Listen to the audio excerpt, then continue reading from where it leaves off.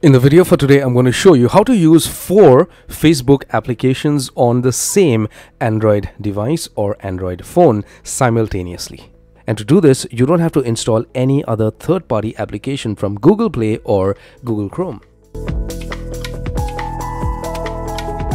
I want you to watch my video completely till the end so that you do this properly and by the end of the video you're using four Facebook accounts simultaneously on four different Facebook applications on the same phone.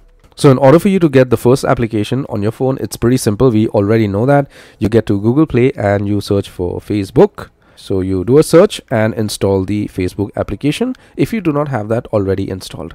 I presume we already have this installed since we have an account with Facebook. And next, if you want to get your second application, just get to the settings directly for your phone and get to apps. And then you scroll down and click on cloned apps.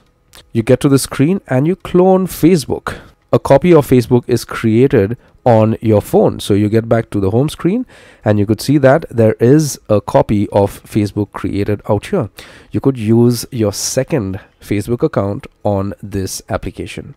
Now, in order for you to get your third Facebook account on an application out here on the same phone, get to Google Play and do a search for Facebook Lite. Okay. So you do a search for that and you install the application. Facebook Lite is also the same thing as Facebook, the original app.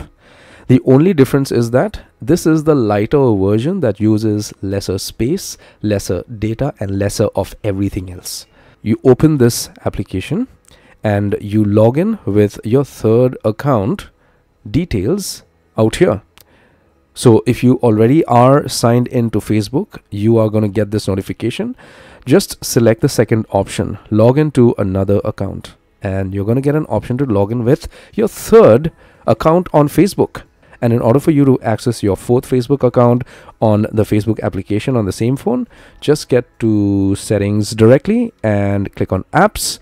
And then you scroll down, click on cloned apps. And then you clone the Facebook Lite application.